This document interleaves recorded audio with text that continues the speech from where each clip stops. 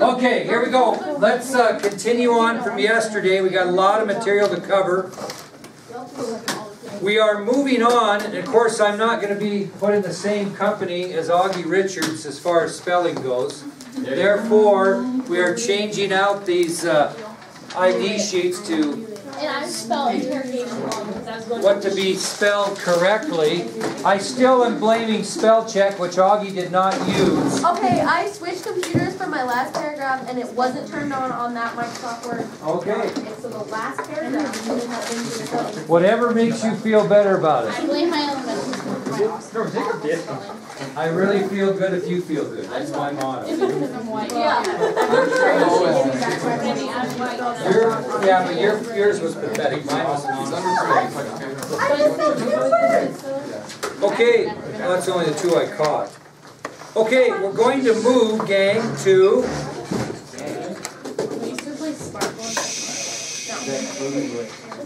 No, we're still on the 22nd, got a ways to go. So the last thing I told you is the fact that the police department had a ton of evidence against Oswald, but not in the killing of the president, but in the killing of J.D. Tippit. Okay?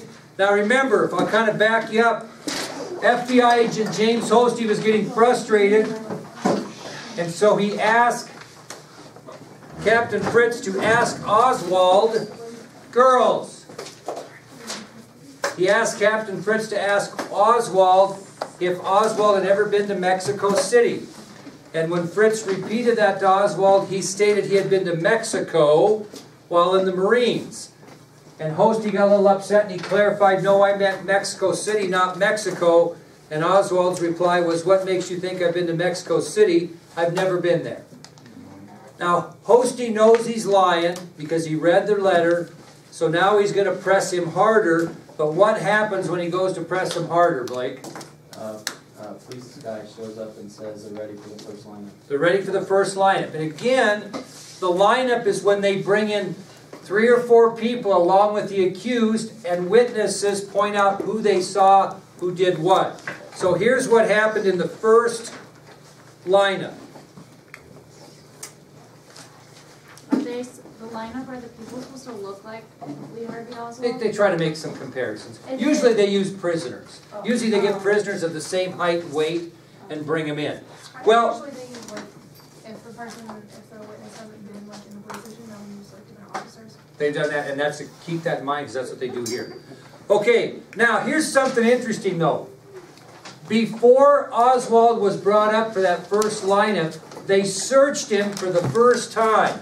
He had never been searched prior to that. Remember, they took his wallet that had those IDs and stuff in it, but they searched him for the first time. And I made a little error. You learn something every day. Oswald did not leave his wallet at Ruth Paine's house. He only left his 170 in cash and his wedding ring, which we'll talk about. So he did have his wallet with him. This is what they found on Oswald. This is what they found on him when they searched him just before the first lineup. Some of it you know. What? Whoa. And Thirteen dollars eighty cents. thirteen dollars and eighty-seven cents. They also found his Marine Corps ring. He had a ring from the Marine Corps. They found that on him. His Marine Corps ring. They also found five live rounds of 38 caliber ammunition in his left trouser pocket. So the ammunition that was used in killing Tippit, he had five live rounds in his left trouser pocket. So they not only found $13.87 in cash, they found his Marine Corps ring, and they found five live rounds of 38 caliber ammunition in his left trouser pocket. The fourth thing they found was the most interesting, and it'll make sense later. They found a bus transfer. What is a bus transfer? It's when you get on a bus and then you can get off and transfer onto another bus. Now, this bus transfer had not been used. Keep that in mind. So they found a bus transfer that had not been used. thirteen dollars and eighty-seven cents in cash, his Marine Corps ring, and five live rounds of thirty-eight caliber ammunition, and that was found in his left pocket. Now, getting into what Kylie said, when Oswald was escorted to the first official lineup, he was brought in with three other individuals, so there was four total. And for his safety, because they didn't trust the prisoners, as Kylie said, they actually brought in police officers, not obviously dressed in their police gear, but they used three police officers, and Oswald was given, was placed in the number two position. So if Jacob was trying to identify first person number one, Oswald two, next person three, next person four in the lineup.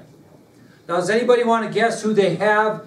Maybe I told you yesterday, remember, but they have looking at the lineup to identify. Helen Markham. She is out there looking and she's scared to death because she thinks that these people can see her. And what they did in those days, they didn't have a glass, you know, mirror glass. They had bright lights that were flashing into the people's eyes that were being identified to the point where they could not see the people identifying them. But she didn't know that. She had to be assured that they could not see her because she was scared to death. Now, when they walked people in, as soon as she saw Oswald walk in, she started to cry. The minute or second that Oswald walked in, she started to cry. Helen Markham started to cry.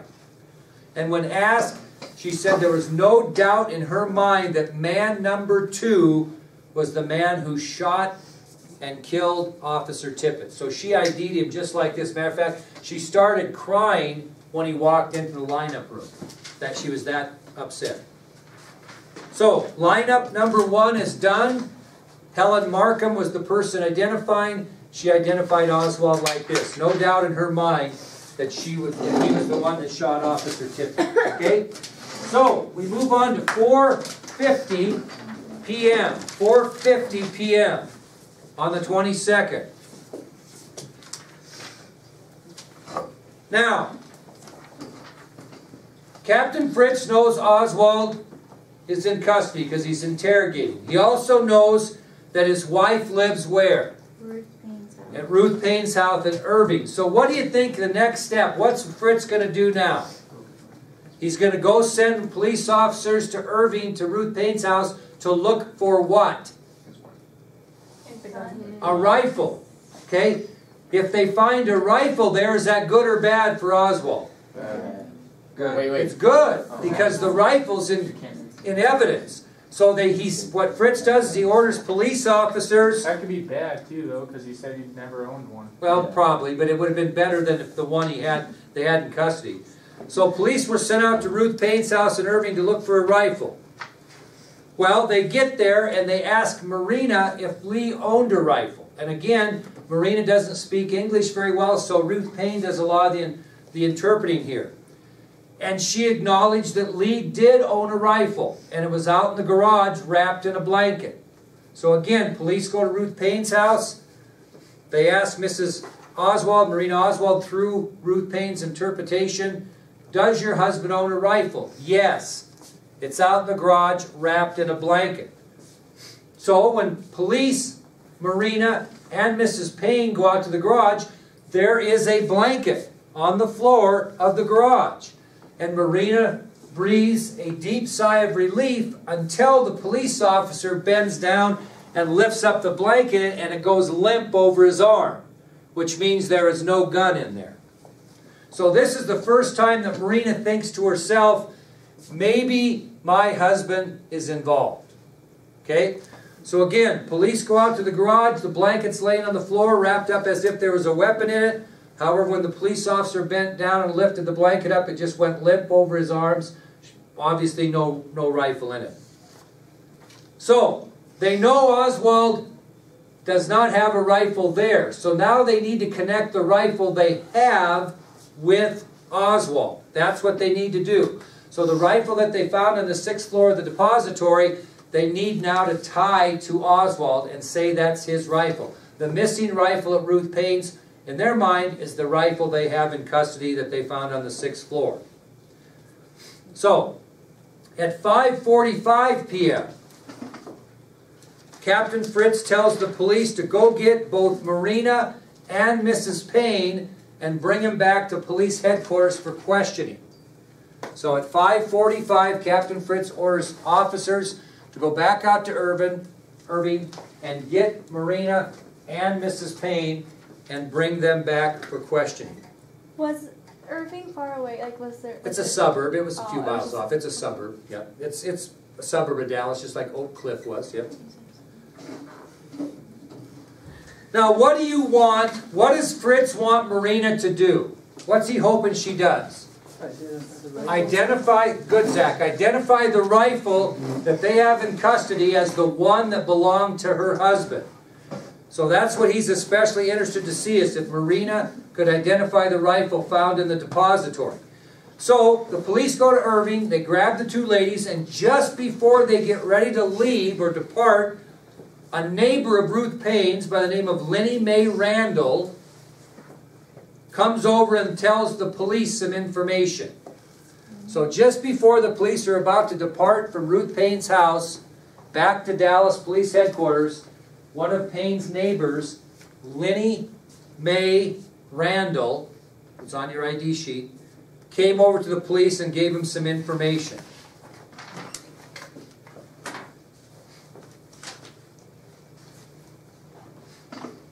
And what Linnie Mae Randle told the police was that her brother had taken Oswald to work that day.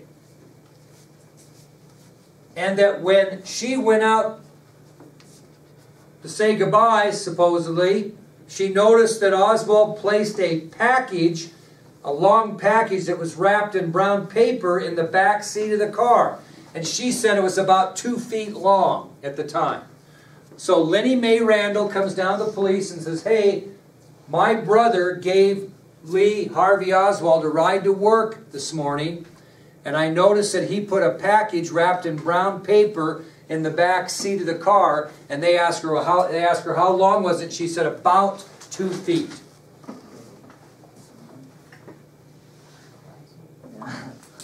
While, thi- while this is happening, Oswald's marched out for the second lineup. We got another lineup, and Oswald has been marched out again to another lineup. So back at police headquarters, while the police are picking up Ruth Paine and Marina to bring him back for questioning, Oswald is taken out for a second lineup.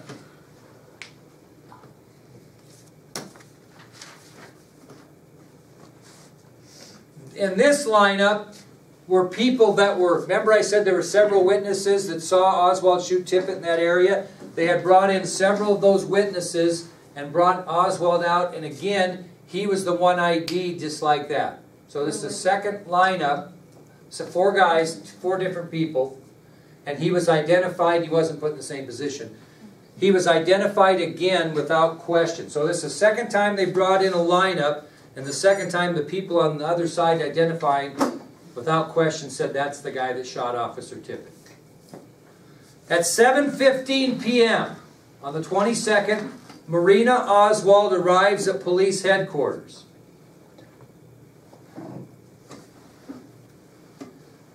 Now, the third floor of the municipal building has been just packed with hundreds of reporters the entire time. It's just a nightmare to get by. I think you've seen a little bit of video on some of the things we've shown you. The media was up there like crazy. That's where they continued to march Oswald back and forth in different rooms.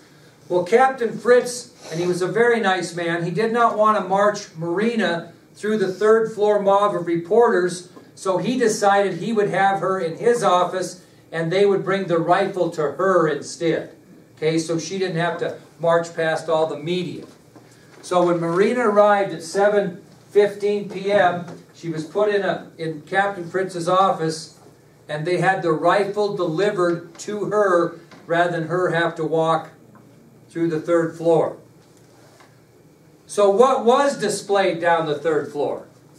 What did the media get a big shot at? The rifle. The rifle. Guy's carrying the rifle down over his head, all the way down the third floor. The media, for the first time, is getting a look at the rifle used to Why shoot the president. like, cover it up?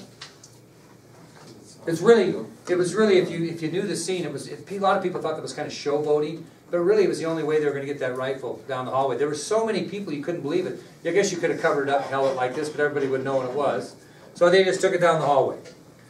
Well, the rifle was shown to Marina, but the problem was, and this isn't a, a, a goof, she didn't know anything about rifles. She just knew her husband had a rifle.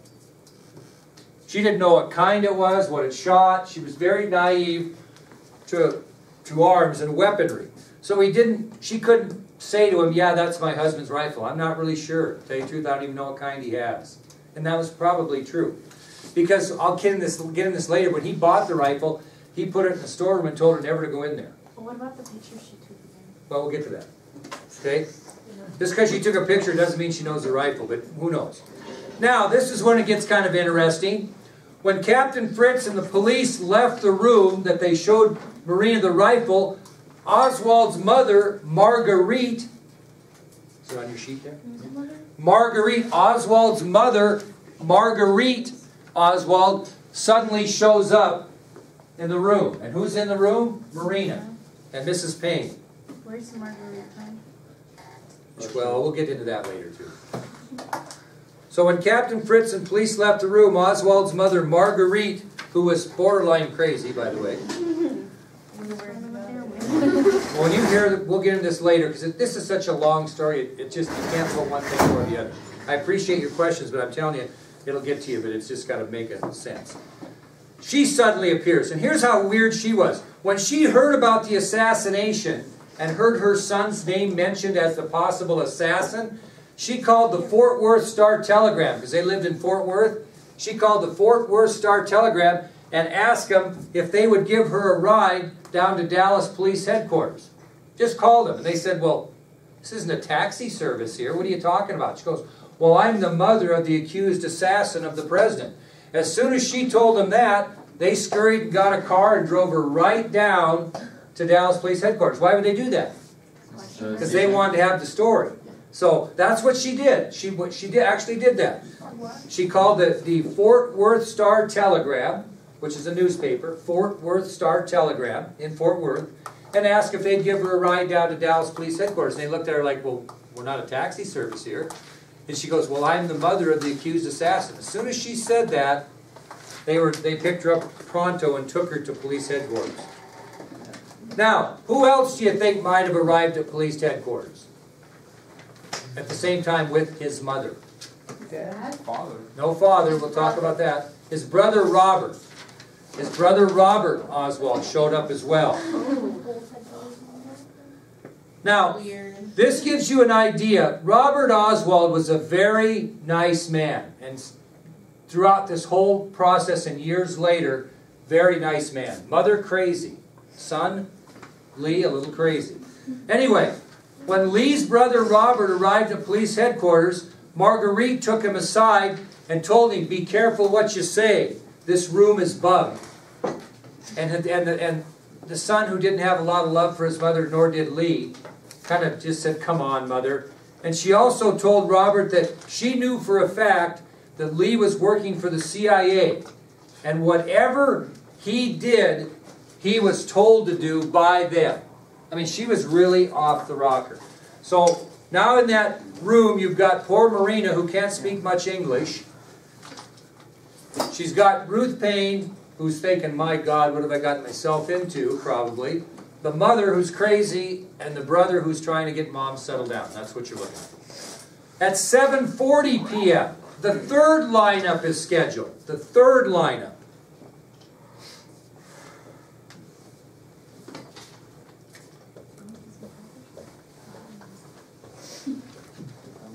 Now this lineup, this lineup would, would provide a special eyewitness, a guy by the name of Howard Brennan. Howard Brennan.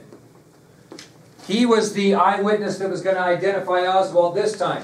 What do you think the difference is from our lecture yesterday on who do you think Howard Brennan was? He was the guy who saw him at the He very good. He was the one that saw him in the sixth floor window. Oh, okay? He's the one I told you about yesterday that we'd talk about later.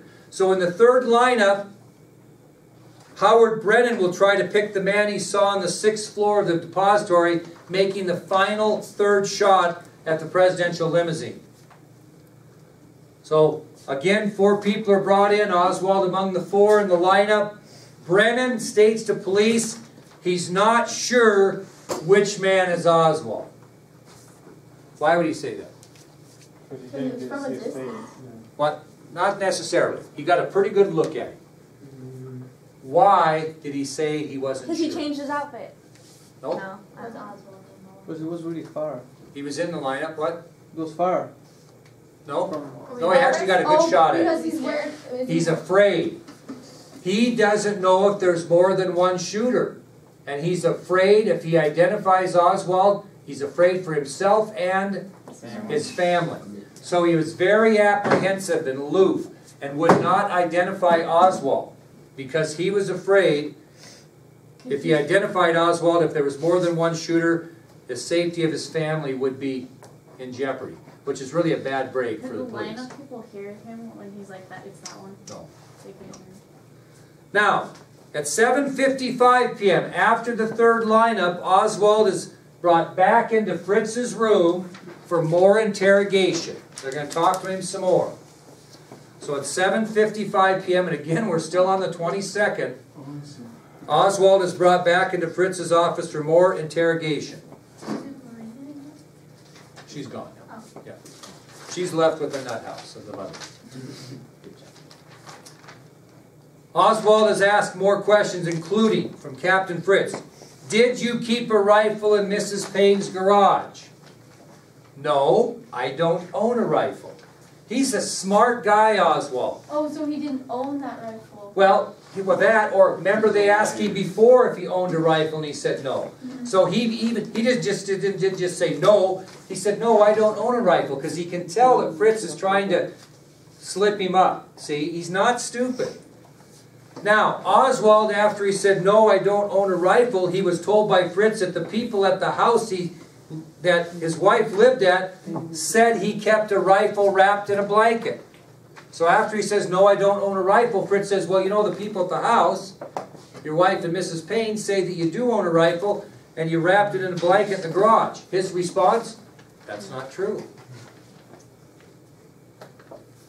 Fritz, getting a little frustrated with Oswald, but not really showing it, says in a calm manner the big question. He says, quote, Lee, you know you've killed the president, and this is a very serious charge. That's what he says to him. He's fine, just can't take it anymore. Lee, you know you've killed the president, and this is a very serious charge. Oswald responds by saying, No, I haven't killed the president. When Fritz told him that the president was dead, Oswald's response was, Oh, forget forget about him in a day or two and we'll get a new president. That was his response.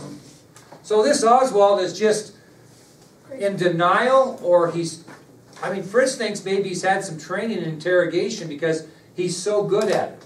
He's never had a, a tougher nut to crack when it comes to a confession. Well, who do you think they bring in next to talk to? Think about what we said today. No? Think about what we said. No? Not, you're close when you say Ruth. His brother. No?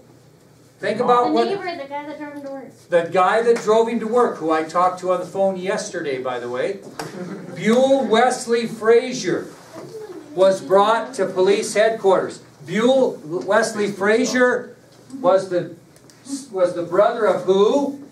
um, many. Linnie May, May Randle. Randle. He was the brother. He's the one that gave him a ride to work that day. So Captain Fritz brought in Buell Wesley Frazier. If you come into my office and see that big framed big frame display with the letter, that's a handwritten note from him. Okay, now, Frazier was a young man who had given Oswald a ride to work that Friday morning, and I want to explain this to you as I have probably before. It was unusual because Oswald's normal procedure from the from the uh, boarding house that he lived in in North Beckley, he normally would walk to work, back and forth to work. But on Fridays, he would get a ride with Frazier to Ruth Paine's house, and he would spend the weekend with his daughters and wife. Mrs. Paine let him do that. Then he would get a ride back with Frazier on Mondays back to work. He had been doing that for a few weeks. Well, this particular thing hit Frazier weird because he asked him for a ride home on Thursday night, which he had never done before. And when Frazier asked him, well, gee, how come you're going home tonight rather than the usual Friday? He responded to Frazier by saying, well, Marina has made me some curtains for my boarding house room, and I'm going to Ruth Paine's to get some curtain rods for the curtains. Frazier didn't think anything of it. Why would you?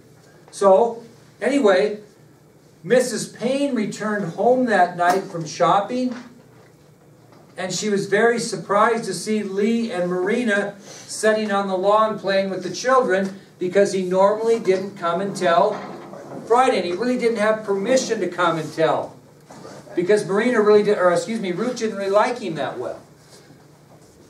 Marina was very embarrassed and felt awkward that Lee had arrived there unannounced. And he, she just didn't feel good about it. But you know, Mrs. Paine didn't want to deal with it, so it was fine. But he was came unannounced, and Mrs. Paine wasn't overly thrilled with that. Well, that evening, on Thursday night, the night before the assassination, Mrs. Paine went to her garage to look for some paint to decorate some wooden blocks for her own children. She had some blocks and she wanted to paint them up. Mrs. Paine did that. She went to her garage looking for some paint to decorate some wooden blocks for her own children. And she noticed the light was on when she went there. And she just assumed that Lee had been in there foraging around because they did have some stuff in there and just forgot to turn it off. So she went in Thursday night, the light was on, left on, and she assumed Lee had been in the garage. Keep it in consideration, she doesn't know anything about what? The gun. A gun. Very good. So when like when the police showed up and asked her for a gun, was Miss Paine surprised? Very surprised. When Marina said, does your husband own a gun? Yes, it's in the garage in a blanket. Ruth about fell over backwards because she was a very big advocate of nonviolence. She would never have allowed a gun in her garage. Anyway, Mrs. Paine didn't ask Lee Harvey Oswald about the light or anything because he was already in bed when she got done with her painting project and he left before she got up the next morning. So there never was any discussion, hey Lee, did you leave the light on? Nothing like that. According to Mrs. Paine, Oswald was very quiet that Thursday night at dinner. He went to bed earlier than usual. And again, he left $170 and his wedding ring on a cup on the dresser.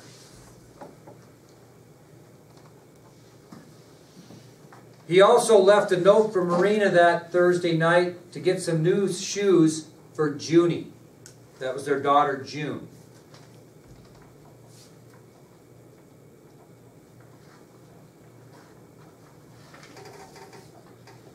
So, when Oswald was talked to by Fritz, he asked him to kind of explain what went on that morning, and he said that Oswald had overslept, dressed quickly, and hurried down the street towards Frazier's home, knocked on his door about 7.10 a.m., which was later than usual on that day.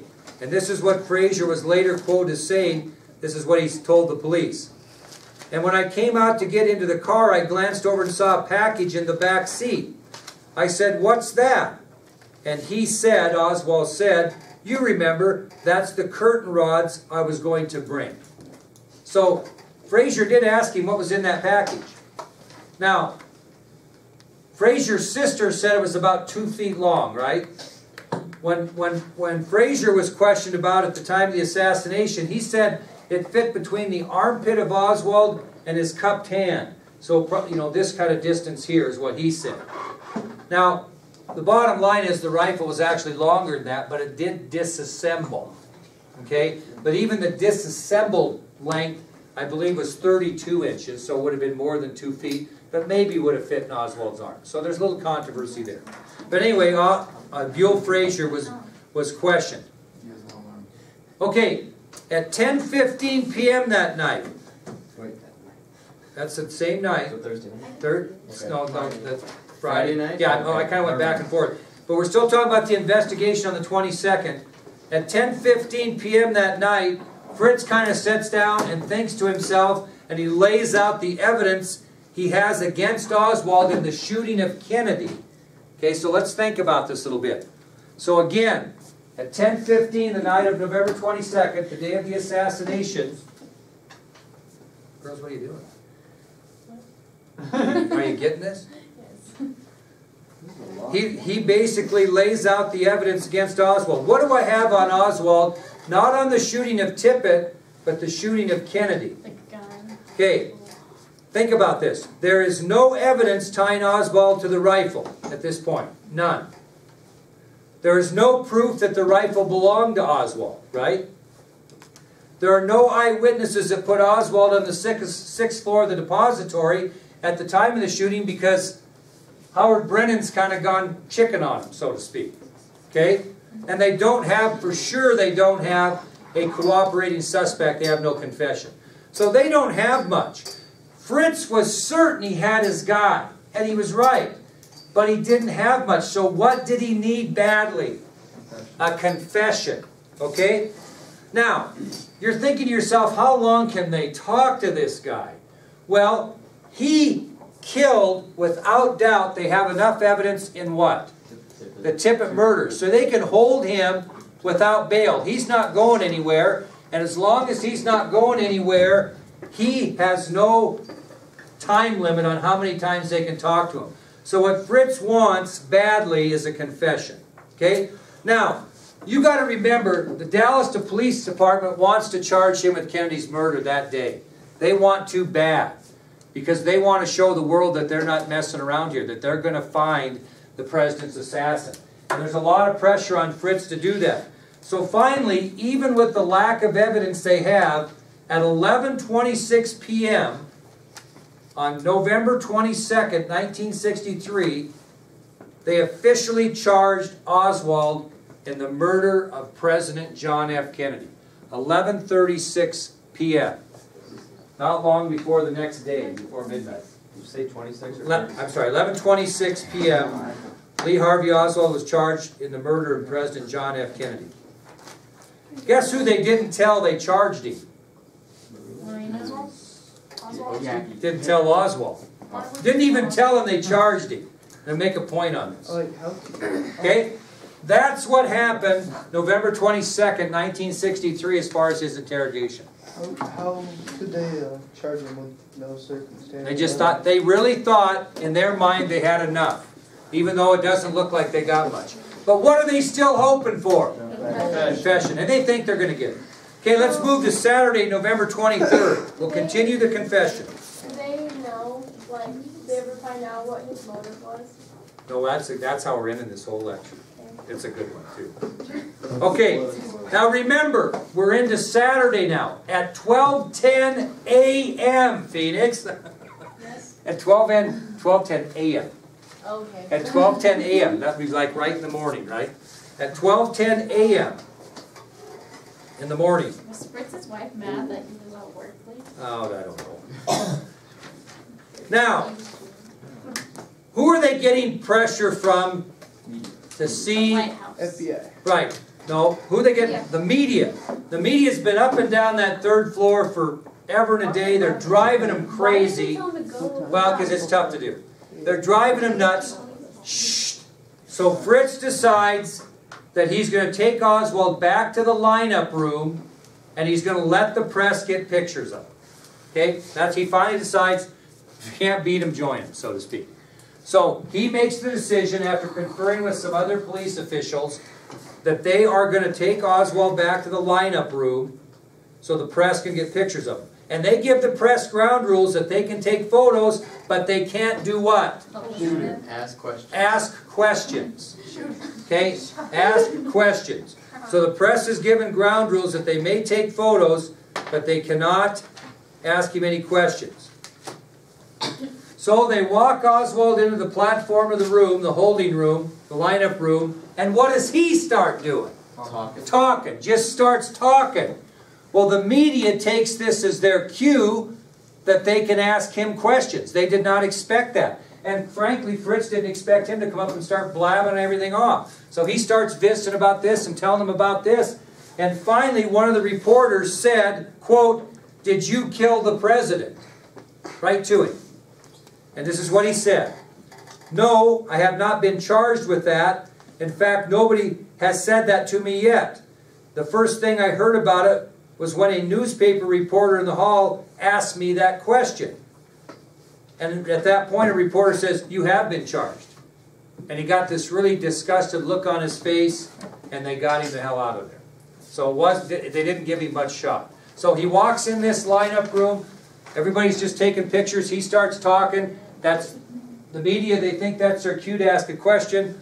The first question they say, and the only question really that you could hear, did you kill the president? And his answer, no, I have not been charged with that.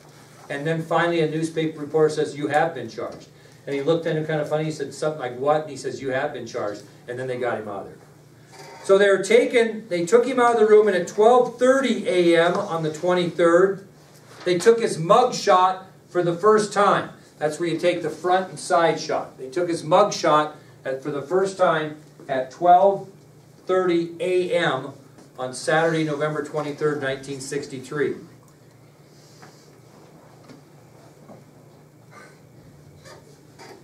Okay? Now, at 10.10 that morning, same morning, it's 10.10. Who wants to know what the hell's going on in Dallas? Lyndon Johnson.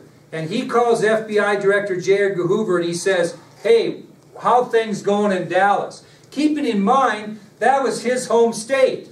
His home state and the events that happened in his home state made him President of the United States. So he wants to make sure he has all the details of what's going on and he wants to make sure that this investigation was done by the book. He wants no screw-ups because it's his home state that not only resulted in the assassination but made him president. Now, this is getting to Brandy. As we start to move on, we'll move towards what she said. The police got a huge break the night of the 24th late while Oswald was doing all of his thing and they were charging. They got a late break. They found an order form for the rifle used in the assassination. They found an order form. And that order form came from this magazine, the February 1963 issue of the American Rifleman. Okay? Now, as hard as it might believe, be to believe in those days, you could buy and sell guns in the mail. And there was a lot of ads in these particular uh, magazines. And this is a copy of the page of that magazine in which Oswald ordered, well, I, I'm going to back up, in which the gun was ordered. And then we'll tell you how it was ordered. See if you can find the rifle. You're going to buy this, you're going to buy yourself a rifle from Klein's Sporting Goods. You see the coupon in the bottom right hand corner? Klein's Sporting Goods. And you're in the mood for a rifle. A lot of these rifles that were for sale, a lot of these rifles that were for sale were old Army surplus rifles that came back from the war. Okay, so they found an order form. That one in the bottom right hand corner they found. And it was ordered by A.J. Hidell, the alias that Oswald was using at the time. The rifle was ordered by A.J. Hidell. Actually, A. Hidell is who was actually ordered by, same person. Now, he had it delivered to a post office box. Guess who the post office box was being rented by? No, there's no Hidell. Lee Harvey Oswald. So here's how stupid the guy is. Yeah, he oh, yeah he orders the gun under an alias A Hidell, which it, when they catch him, he's got both IDs in his pocket, and it's sent to a post office box that's being rented by Lee Harvey Oswald. So they tied the guy in in two different ways. Now, if you look at that rifle and that ad, you can see the one that he bought, I'm sure. He bought the rifle including the scope. He paid $19.95 for the rifle that killed the president. You could order it with a scope or without a scope. Brandy, how much was it without a scope? Twelve eighty-eight? Is that what it says? I don't know, I don't know. Got 1288, and if you wanted the scope, it was 1995. It was shipped, just you need to know this, it was shipped to Oswald on March 20th, 1963. It was shipped from Klein's Sporting Goods to Oswald's post office box on March 20th. It was shipped COD. You could do that in those days. Anybody know what that means? Can't open it. Collect on delivery. And what you could do in those days is you could order something and not pay any money, and then when it came in, the post office would collect the COD, which was how much? 1995, and that's what happened. Yes, Jacob? What was the date that that was? March 20th it was shipped. On March 20th. And it was sent to Oswald via A. Hidell at Oswald's post office box, COD, with a balance of 1995 upon delivery. There's Now, as I mentioned, this is important. Oswald, once he received the rifle, he kept it in a small storeroom at an apartment when he and Marina were together, before they split. Kept it in an apartment in a storeroom. And he told Marina not to go in that storeroom. And she asked him, Gee, Lee, how come you bought that rifle? And he said he intended to use the rifle for hunting and that he'd be taking it out and practicing with it quite a bit in the near future. Did he speak Russian? Yes, Like good? yeah, pretty good. Yeah. We'll talk about that later. Was he really gonna use it for hunting, or did he already? That's what he told me. Well, that's, what we're gonna get your opinion. He had a plan, but he was going to hunt, but he wasn't hunting, at that time, he wasn't hunting presidents or deer. He was hunting something else, and we'll get into that. Okay, so Marina, shh, when Marina inquired about the rifle, he told her that he intended to use the rifle for hunting. He'd be practicing with it and to stay out of the storeroom where it was. Okay, at 10:30 a.m., the 23rd, 10:30 a.m., the 23rd. Fritz has new info, doesn't he? So he meets with Oswald. He now has the rifle used in the assassination of President Kennedy tied to the man he has in custody, right? Okay, so he opens up the conversation with Oswald at 10:30 in the morning. He says, "How'd you sleep, Lee?"